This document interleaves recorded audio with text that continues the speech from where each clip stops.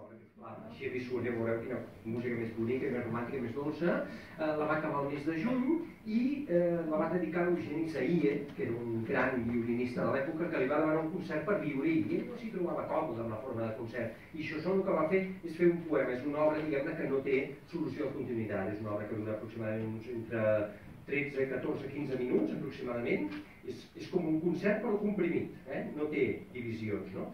I, curiositat, la primera vegada on va sonar, abans de l'estrena que es va fer el 27 de desembre de 1896, a París, als concerts Colonna, la primera vegada on va sonar, no us ho perdeu, va ser la tardor d'aquell mateix any, 1896, convidats per Santiago Rossinyol, Eugeni Saria i Ernest Chassó, convidats a Sitges, i van dir, podríem anar provant abans de l'estrena a veure com sona. La dona d'això som tu al piano molt bé, Eugeni Sayet portava el violí i a Sitges, al Cau Ferrat, convidats per Santiago Rossinyol. I amb la presència en el concert, en aquell recital íntim, eh, com això, eh, d'Enric Granados i probablement d'Isaac Arbenis, va tocar per primera vegada, la tardor de 1896, aquesta obra en aquesta versió abans de l'estrena que va ser a París el mes de desembre. O sigui que tot rodó, eh? Veieu que des del primer lloc va sonar, Sitges, no deixa de curiós.